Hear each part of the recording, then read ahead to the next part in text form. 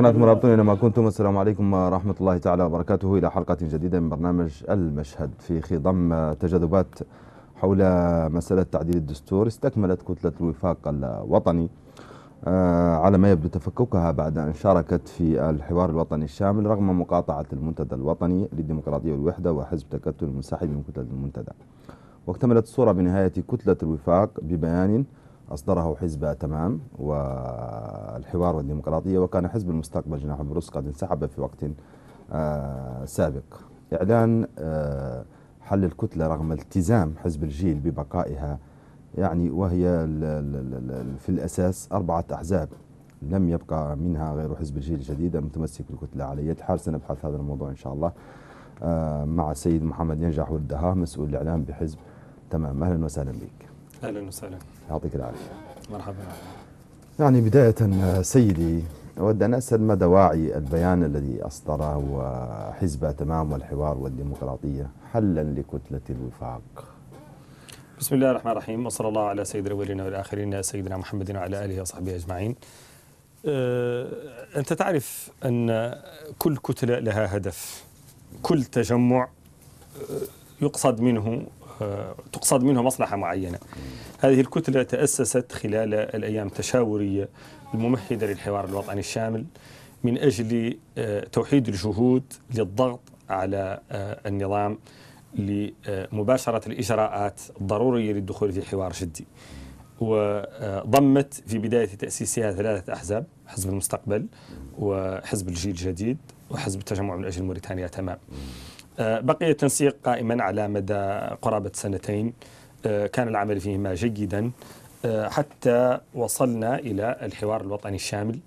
وبعد اكتمال أشغال الحوار الوطني في دورة سبتمبر الماضي قرر حزب المستقبل رئيس حزب المستقبل محمد البربص الانسحاب من الكتلة للتفرغ للتحضير لمرحلة ما بعد الحوار الوطني. كذلك اخترنا في ذلك الوقت أن نبقى في الكتلة وننسق من خلالها مع اللجنة المشرفة على الحوار الوطني الشامل من أجل تطبيق مخرجات هذا الحوار. أما اليوم وقد وصل الأمر إلى ما وصل إليه قررنا أن ننسحب أو على الأقل أن نفكك هذه الكتلة لأنك تعرف بيت يقوم على ثلاثة قوائم إذا خرجت قائمتان. نأتي إلى تلك البيوت ليست سيان يعني تختلف. بيت عن بيت يعني نعم لا, لا مشكلة في ذلك في وقت سابق انسحب حزب المستقبل جناح والبربص. ما هي أسباب ذلك؟ وأنت ذكرت الآن نعم هو نفسه ما هي أسباب ذلك؟ حزب المستقبل رئيس حزب المستقبل سيد محمد البربص عندما انسحب من الكتلة بين في بيان أصدره ونشره الإعلام دواعي انسحابه من هذه الكتلة. قال إنه دخلها من أجل التنسيق للدخول في الحوار. كان له ما أراد هو أمام استحقاقات قادمة حسب نتائج الحوار أمام جو سياسي يحتاج فيه للتفرغ لخدمة حزبه ولا يريد ما يشغله عن ذلك التوجه. طيب لكن كانت هناك هذا ما برر به هو نفسه ونحن لن نكون, لن نكون ملكيين أكثر من الملك. لا لكن في ذلك الوقت في تم حديث عن بعض الخلافات داخل كتلة الوفاق. لماذا لم يكن هذا لماذا لم يعبر عنها هو نفسه؟ إن كان خرج نتيجة خلاف ما المانع من أن يعبر عنها في بيانه؟ أنا أسألك الآن. أنا أنا أجبتك بسؤال. هذه عادتنا في موريتانيا يقولون إن المسؤول منا يجيب بسؤال. طيب على حال آه نحن لن نكون ملكيين أكثر من الملك كما قلت لك. محمد البربص عندما انسحب بين دواعي انسحابه وأثنى على العمل الجماعي والروح التي طيب. حظي بها أصدرتم بيانا أصدرتم بيانا للرأي العام لحل الكتلة. هذا البيان. دعني أسألك يعني تفضل. لماذا لم يشارككم حزب الجيل الجديد في هذا البيان؟ هكذا. آه هذا ما أردت أن أجيب عليه آه انطلاقا من فهمي لفكرة السؤال الذي أردت أن تطرحه. هذا البيان يوضح موقف موقف حزبينا الجيل الجديد اختلف معنا في وجهة النظر. عندما قررنا أن نحل الكتلة قال أنا رأيي الشخصي أن نتمسك بهذا الإطار الجامع لننسق من خلاله. ولكن عندما في النهاية نحن أحزاب كل منا له أجندته. اجتمعنا من أجل مصلحة معينة. رأينا في حزبي تمام وحزب الحوار والديمقراطية أن هذه هذا المجهود الجماعي آتى أكله نحن أمام مرحلة حرجة آه، وقد اتضح فعلا إنها مرحلة حرجة. تحتاج إلى تموقعات جديدة، تحتاج إلى تنسيق أكبر، تحتاج إلى مزيد من الوقت ومزيد من التفكير العميق للاحاطه بالارهاصات التي ستتمخض عنها. طيب هو البعض يرى أن بيانكم كان يجب أن يكون بيان انسحاب من الكتلة وليس بيان حل لها لأن الإجماع ليس حاصلا على ذلك. بدليل تمسك حزب الجيل الجديد بها. ما رأيكم أنتم في ذلك؟ أه نحن نرى أن كما قلت لك البنيان إذا كان قائما على أركان ضرورية لإقامته. إذا انهدمت هذه الأركان لا, لا داعي لي أنت تعرف الكتلة تأسست من ثلاثة أحزاب. التحق بها حزب. بقيت كما هي ثلاثة أحزاب. هل يمكن أن نتحدث عن كتلة بحزب واحد؟ منطقيا. إذا افترضنا جدلا أنه المحمد متمسك الآن بموقفه من البقاء في كتلة الوفاق فهل من المستساغ لغويا أو عقليا أو منطقيا أن نسمي حزبه بحزب الجيل الجديد كتلة الوفاق الوطني؟ الكتلة جمع والجمع لا يمكن أن ينقلب إلى صيغة المفرد. هذه قواعد طيب. معروفة. نعم. طيب هو على الاتحاد التكتل في السياسة هو عبارة عن فكرة. صحيح. ولا فكرة آه، قد تكون قائمة بالنسبة لحزب الجديد الجديد وأنتم لم تعدوا بحاجة إليها. هو قد يرث هذه الفكرة ويجمع من حوله غيره غيره إذا جمع غيره ما الذي جعلكم؟ إذا جمع معه غيره. أسألك ما الذي جعلكم؟ لا تحترمون تمسكه على الأقل وجمعتكم معه فرصة تحترمون تمسكه بالفكرة وتعلنون انسحابكم منه لا أن تعلنوا أنت تعرف أنت تعرف من أنت تعرف يعني. هذه قوانين الحياة. عندما آه، تتحد الفكرة كما قلت ننشئ تكتلا. عندما يتفكك هذا التكتل ويبقى جزء هو جزء من الكل الغالبية قد عادة يكون لها الحكم كما هو معروف الحكم للأكثر آه، حزبين من ثلاثة أحزاب. يعني لم نتحدث عن حزب انسحب وبقي حزبان. تحدثنا عن بقاء حزب وحيد متمسك بموقف له الحق فيه يجمع معه من حوله ونحن لن ننازعه في اسم كتلة الوفاق. ولن آه، نسحب من يده شيئا بعد تمسكه به. إذا أنت يعني أنت تفترض الآن أن يعني الحل الكتلة آه، أمر السلطة فيه يعود للأكثرية وليس لل هذه الكتلة لها يعني. لها نظام داخلي. ويفترض أن هناك هذه الكتلة لها نظام داخلي. يفترض أن هناك ميثاق جمعكم. هذا النظام. إذا تمسك أحدكم بهذا الميثاق أو إذا رفض أحدكم يعني الميثاق والعمل الجماعي يفترض أن يكون هناك نحن نوع من التعاطف نحن لم نبني فكرة الكتلة على فراغ عندما أسسنا هذه الكتلة سهرنا على وضع نظام داخلي يحدد آلية التصويت. آلية التناوب السلمي على رئاستها؟ تم التناوب باحترام شديد لجميع المواعيد. المرابطون مشكورة غطت كل الانتقالات الدورية لكل انتقالات الرئاسة الدورية من رؤساء الأحزاب الممثلين في الكتلة إلى بعضهم. كان هذا يتم بانتظام. لم يلاحظ عليه أي شيء. كانت الكتلة تطرح موقف تناقشه. إذا صوتت عليه الغالبية يذهب. لماذا الآن نحن مجبورون أن نخالف ذلك النظام الداخلي الأساسي الذي عملنا فيه من أجل تمسك شخص بموقف؟ هذا الموقف نحن نحترمه. طيب. دخلتم الحوار آه الذي يدعى الحوار الوطني الشامل مقاطعة أحزاب المنتدى وتكتل وغيره مع ذلك هو شامل. كيف تجدون أنفسكم في التعديلات الدستورية المرفوضة من طرف الغرفة العليا في البرلمان مجلس الشيوخ الغرفة العليا يعني في البرلمان مجلس الشيوخ.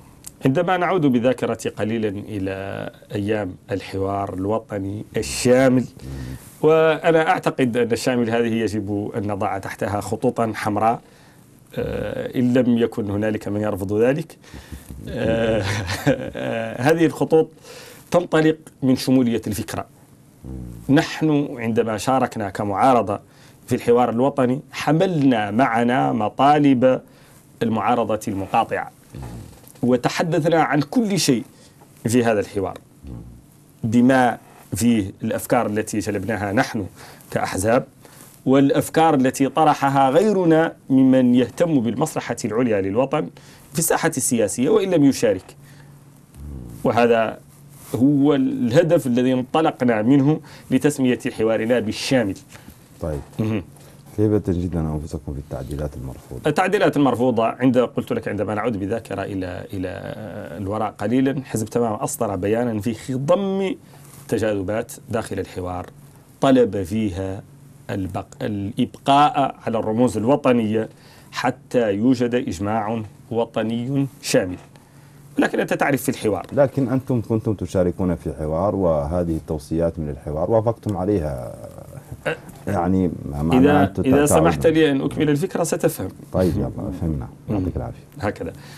أه قلت نحن عندما دخلنا الحوار طرحنا ما نراه مناسبا ورفضنا ما لا نوافق عليه. ولكن في أي حوار أنت تطرح والمحاور آه، يطرح. ومن أجل التوصل إلى اتفاق لا بد لكل طرف أن يقدم تنازلات. الفيصل في آه، الحوار الماضي كان هو الاستفتاء الشعبي.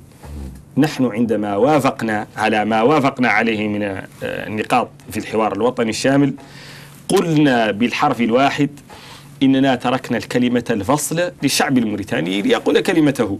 هذا موقفنا كحزب. طرحنا ما نراه مناسبا. ما لا نوافق عليه عبرنا عن عدم موافقتنا عليه ولكن قلنا إذا قبل الشعب الموريتاني هذا فنحن نقبله وإذا رفضه فالشعب هو صاحب السلطة. وفي أي ديمقراطية راسخة ينبغي أن يكون الشعب هو صاحب السلطة الأولى والأخيرة وإذا قال كلمته فلا معترض عليها. طيب. م. كيف ترد على من يرى أن ما يجب أن يطرحه الساسة أصلا هو ما يعني يناسب أو يتوقع للشعب أن يوافق عليه لأن يطرح شيء وكأنه لا يعلم في الشارع. لا وكأنكم لا لا. ليست لديكم أنت تعرف. وكأن الأحزاب ليست لها علاقة بقواعدها حتى تطرح أشياء.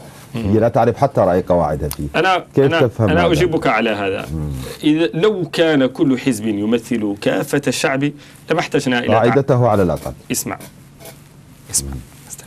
إذا آه، كان كل حزب يمثل الشعب فنحن لسنا بحاجة إلى تعدد الأحزاب.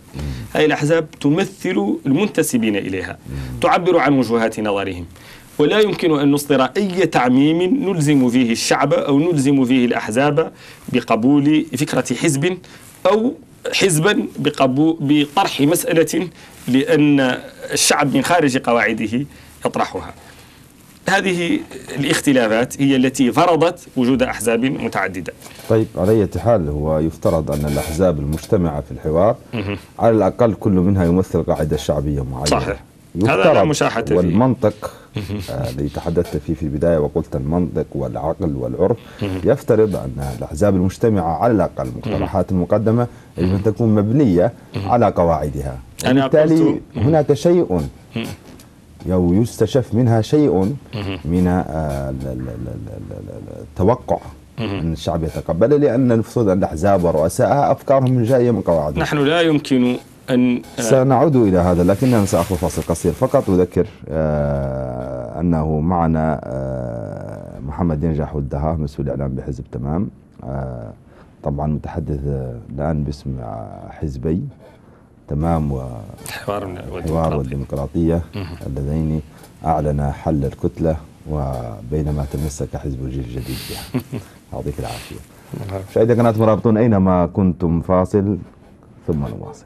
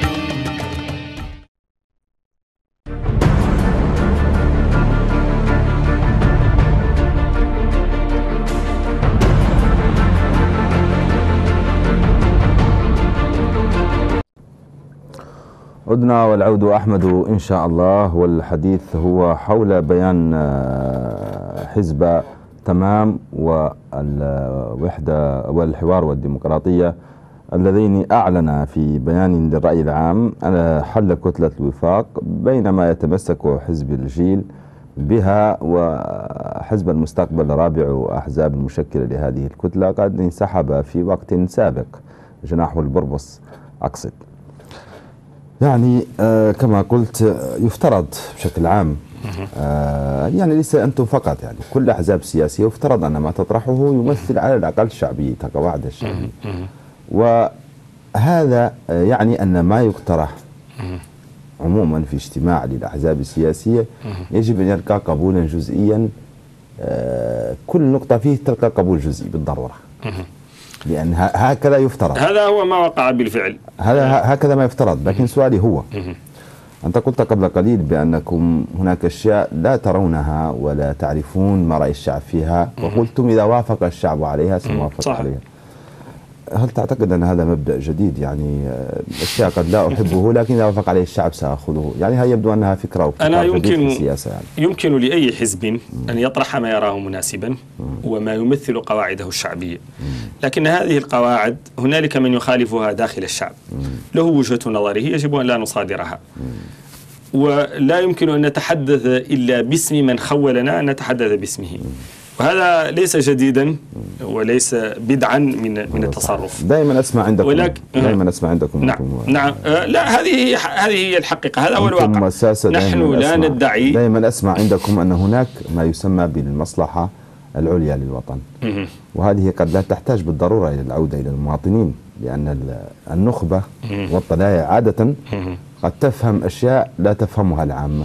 لذلك تنطلق هذا لا تسمعه في حزبنا في لذلك تنطلق عادة في في اطروحاتها واقتراحاتها وفي تشكيل مواقفها من مصلحة العليا للوطن. نحن آه وهذا لا تبدو الصورة هكذا على ما فهمت منكم ومن آه، حواركم ومما الطريقة التي إذا, إذا سمحت لي سأوضح الفكرة قليلا. إذا عدنا إلى مفهوم المصلحة حتى في الاصطلاح الأصولي. عندما تتحدث عن المصلحة أنت تتحدث عن فهمك لهذه المصلحة وعن تأويلك لها. نتحدث عن الإجماع على المصلحة والمصلحة عادة في الدول عندما نقول نتحدث في ميدان واضح والمصلحة فيه هي تماسك شعب وتنميته وتحسين وضعه. هذه مصلحة لا, لا, لا خلاف فيها. وهذا الشعب لا هذه ما أتحدث عنها وليس عن تلك الأشياء المفاهيمية يعني. لا أنا أنا أريد أن أوضح آه، المفهوم الذي تحدثت عنه. أنا إذا قلت إنني أرى المصلحة في مسألة معينة فهذا رأيي. قد يظهر للغير من منطوق الم... وأنا لا أسأل عنها. الموافقة وأنا أوافق على هذا ولا أسأل عنه أنا سألتك إذا... عن المصلحة العليا للبلد. المصلحة العليا للبلد المصلحة العليا للبلد ليست في يدي لا تنظر. لا هي مجمع عليها. هناك أشياء مجمع عليها. أش... وحدة البلد مجمع عليها. وحدة البلد وحدة مجمع التراب مجمع نعم. عليها. صحيح. تحسين وضع المعيشة مجمع عليه أنت؟ هذه هي المصلحة هذه هي المصلحة التي أقصد بأن الناس تتفق عليها؟ البعض ما أريد أن أقوله بأن الكثير من في خضم يعني الحديث عن التعديلات. هناك حديث من أطراف أخرى سواء كانت معارضة أو غير معنية بالسياسة أصلا ولا تهتم بها. ترى أن ما يطرح أحيانا هو مجرد صفقات سياسية لا علاقة له بمصلحة ولا بالشعب هناك أشخاص يقفون في نصف ليسوا سياسيين. يرون أن الساسة ينطلقون من مصالح خاصة بأحزابهم أنا لا يمكن أن وليس من طرف أنا لا يمكن أن أكون محاميا لشيطان كما هي عادة بعض الصحفيين أو كما يجب أن يكون الصحفي. الذي يمكن أن أتحدث عنه وما أعتقده وما أراه مناسبا. عندما تقول المصلحة متهمون فقط عليكم أنتم. عندما تقول المصلحة الوطنية فهذه كلمة كبيرة. يجب أن نناقش دلالاتها اللفظية والمعنوية وتطبيقاتها على أرض الواقع. ليس من السياسيين اليوم من ينكر آه، أن موريتانيا تعيش أزمة خانقة على المستوى السياسي أو على المستوى الاقتصادي أو على المستوى الاجتماعي. وهذه الأزمات التي نتخبط فيها تفرض علينا على الأقل محاولة البحث عن حلول ناجعة آه، لها. ترضي الشعب. طيب. تتحدث عن صوت الشعب تقدم له أمورا ملموسة يمكن أن تسهم في تنميته آه، في الديمقراطية لا مجال للكرسي الفارغ إذا استبد النظام برأيه ولم تقل المعارضة كلمتها وبقي الشعب صامتا فأين سنعثر على حل لما نحن فيه من أزمات ضمائر يعني لذلك. آه، آه، طيب سأعود بك إلى ما قلته قلت أن الهدف من الكتلة هو آه، أصلا تشكيل قوة ضاغطة. مهم. آه، أنت قلت بأنها ضاغطة على النظام. كنت أود أن أسألك يعني دعوتم إلى حوار طبعا جدي في ذلك الوقت. يخرج البلاد مما أسميتموه الأزمات. على مختلف الأصعدة. سياسية اقتصادية طب كيف تقيمون الحوار الذي شاركتم فيه؟ الحوار الذي شاركنا فيه قدم أجوبة واضحة لعدد كبير من الأسئلة كانت تدور في خلد المواطن الموريتاني البسيط. وكانت تؤرق كبار الساسة في آه، حياتهم الشخصية قدمنا جوابا للمأمورية الثالثة حيث وقف رئيس الجمهورية وهو أكبر شخص يعنى بهذه المسألة وصرح أمام الجميع أنه لا يريدها. قال هذا وكرره قبل حواركم هذا. لا لكن وأكثر من مرة. أكبر أكبر ما قدم في هذا المجال قدمه في حوارنا وبصورة واضحة لا غبار عليها. دعني من حوادث منفصلة في وسائل إعلام خارجية أو في تصريحات مقتضبة ما أو في ما بالها تلك يعني. لا هذه هذا هذا وقع في موريتانيا. نحن لا نريد لأنفسنا أن ننتقل من مرحلة يمكن أن نتفاوض فيها على مصالحنا العليا أن نتحاور فيها داخل بيتنا إلى مرحلة أخرى آه، نتحاور فيها من وراء حجاب أو نبحث فيها عن وسطاء. نحن جلسنا لنتحدث عن هموم الشعب في حياته. طلبنا آه، إصلاحات جوهرية في هيكلة آه، هذه الدولة. طلبنا إحداث مشاريع تعود بالنفع على المواطن البسيط الذي لا تهمه السياسة أكثر مما تهمه لقمة العيش.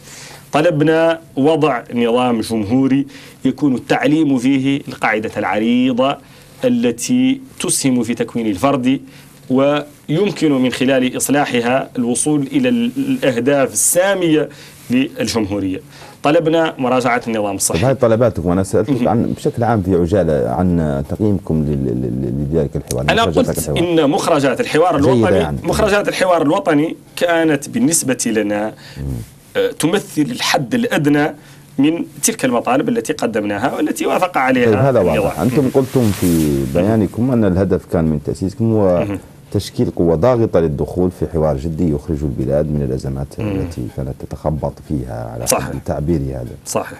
طيب. الآن بعد أن انقضى الحوار وخرجت توصياته وذهبت إلى البرلمان للتعديل الدستوري ورفض من طرف مجلس الشيوخ. الآن بما تصفون الوضع السياسية والاقتصادية والاجتماعية الراهنة في البلاد كل على حدة وفي شكل موجز. آه، بكامل الإيجاز يمكن أن أقول إن ما حدث في مجلس الشيوخ كان ظاهرة ديمقراطية صحية حيث استطاع هؤلاء أن يعبروا عن وجهة نظرهم بوضوح ومن خلال اقتراع شفاف ونزيه. طيب. التصحيح هذا الخطأ إن كان خطأ أو الإجابة على هذا السؤال المطروح يمكن آه، أن يتقدم بها السادة الشيوخ انطلاقا من قناعتهم. آه، أو الأغلبية الداعمة للرئيس محمد بن عبد العزيز التي آه، صدر صدرت عنها مثل هذه النتيجة في برنامج هو من تقدم به. طيب أنا أسألك الآن بما تصفون أنتم الآن نحن الوضع نرى السياسي؟ أن؟ الوضع بقي على ما هو عليه طالما لم يسمح لنتائج الحوار. أن تطبق فعليا. هذا الوضع السياسي. الوضع السياسي والاجتماعي والاقتصادي لم يحدث. لا سألتك الآن عن الوضع السياسي. الوضع السياسي لم يتغير بشيء. ما دامت التعديلات لم تخرج ما دامت توصيات الحوار لم ترى. هل أفهم من هذا أن غياب المنتدى وأحزاب التكتل لا تشكل أزمة سياسية ومقاطعتها لا تشكل بالنسبة لكم أزمة سياسية؟ يعني فليبقوا خارج. هذا هذه الأحزاب لم تؤثر في ما حصل. ما حصل حصل داخل الأغلبية الرئاسية. هي التي رفضت هذا المشروع الذي تقدم به رئيس الجمهورية. إذا أنت الآن قلت أن الوضع السياسي متأزم فقط لأن التعديلات لم تمرر. لكن أنا غياب تلك أنا الأطراف قلت لا إن ليس لا يعتبر أنا أزمة بالنسبة إن- لكم أنتم في أنا قلت إن غياب أي طرف عن مائدة الحوار الوطني الشامل هو في حد ذاته أمر آه، يحتاج إلى البحث عن حل. لكن عندما لا يصل لمستوى أزمة عندما مثلا. لا عندما لم نقع عندما لم نستطع أن آه، نقنع إخوتنا بالدخول في هذا الحوار حملنا أفكارهم وطرحناها وتم نقاشها. وأي حوار؟ كما هو آه، يعني هو على أي حال يقال. وهم أنفسهم حتى يقولون هذا. هم في النهاية أحزاب المنتدى إلى حزب التكتل هي أحزاب سبقتكم للمعارضة وتعمل منذ زمن طويل في ميدان السياسة وفي المعارضة وربما واكبت آه، مختلف المراحل التي مرت بها ديمقراطية موريتانيا. وغيابها على ما يبدو بالنسبة لكم لا يشكل فرقا ولا يصل لحد الأزمة لكن الأزمة هي أن التعديلات نحن لماذا نتحدث لماذا نتحدث دعني أكمل دعني أكمل سؤالي. والأزمة بالنسبة لكم هي أن السياسية هي أن التعديلات لم تمر آه، رفضت. لا طيب لا. الآن أسألك آه، أنا سؤال آخر. أنا أنا أنا يمكن أن أوضح كلامي آه، لأنني موجود وكما يقولون الحاضر الصحيح ولا تمكن النيابة عنه. طيب هذا, كلامي أنت. هذا كلامي وأنا أريد أن أبين لماذا قلته. أن تغيره وتصححه. أن أبين لماذا قلته. آه. هذه على الأقل هذا حقي في الرد. يلا. لأنني أنا هنا أجلس للرد عن استفساراتك. آه لن أترك لك المجال لتعبر عني بالنيابة. قلت إن البلاد تعيش أزمة سياسية اقتصادية اجتماعية. على كل المستويات. وهذا تضمنه البيان. وهذا هو المنطلق الذي آه، ذهبنا منه للدخول في الحوار. هذه كلمة أنا كررتها. طب لا لا لكن لا تريد تحدث عن وضع الراهن للسياسة. الوضع الراهن هو هو نفسه الوضع الذي كان. أنا قلت لك لم يتغير شيء. نحن تحاورنا لكن ربطت لي قلت لي قبل قليل الوضع ما دمت التعديلات لم تمر آه، عبر لو البرلمان خرجت لو بقيت لو, خرجت بالنسبة لك الأزمة محلولة. لو خرجت هذه التعديلات لوجدت فيها المعارضة المقاطعة ما يثلج صدرها. هذا ما تراه جيد. لا طيب، استطعنا طيب أن ننتقل بسلاسة إلى موريتانيا. ما بعد 2019 طيب دعنا وهذه المرحلة هي التي يجب على كل سياسي غيور. دعنا ننتقل إلى الوضع الاقتصادي. برأيكم كيف ترون الوضع الاقتصادي الراهن في موريتانيا؟ نحن نرى أن موريتانيا تعيش وضعا اقتصاديا غير مريح.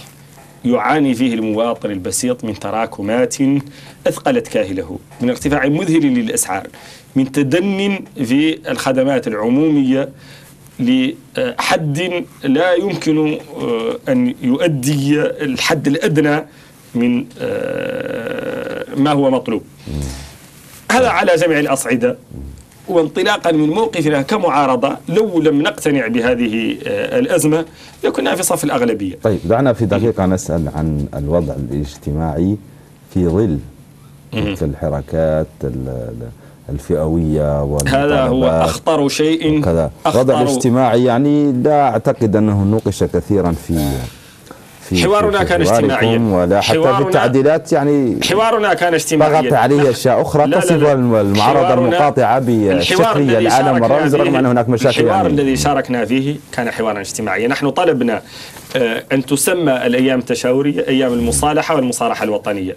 ركزنا على البعد الاجتماعي لأننا نعرف أن أي شعب لم يتمكن من صيانة وحدته فلا مستقبل له في السياسة ولا في الاقتصاد ولا في الرخاء ولا في التقدم. وهذا هذه الأوتار التي يعزف عليها البعض هي خطيرة تمام الخطورة. إذا بالمحصلة يعني ونحن في نهاية الوقت يبدو أن حزبكم. آه أنكم غير راضين عن الوضع الوضع بشكل عام صح. ويعني ليس هناك جديد بعد الحوار ولا حتى بعد اقتراح التعديلات. اذا السيد محمد ينجح الدهاء مسؤول الإعلام في حزب التمام كنت ضيفنا شكرا لسعه صدرك. شكرا جزيلا. شكرا, شكرا جزيلا. لك. مشاهدي قناة مرابطون أينما كنتم بهذا نصل إلى ختام هذه الحلقة من برنامج المشهد نتمنى أن تكونوا قد استفدتم منها. إلى أن نلتقي مجددا. السلام عليكم.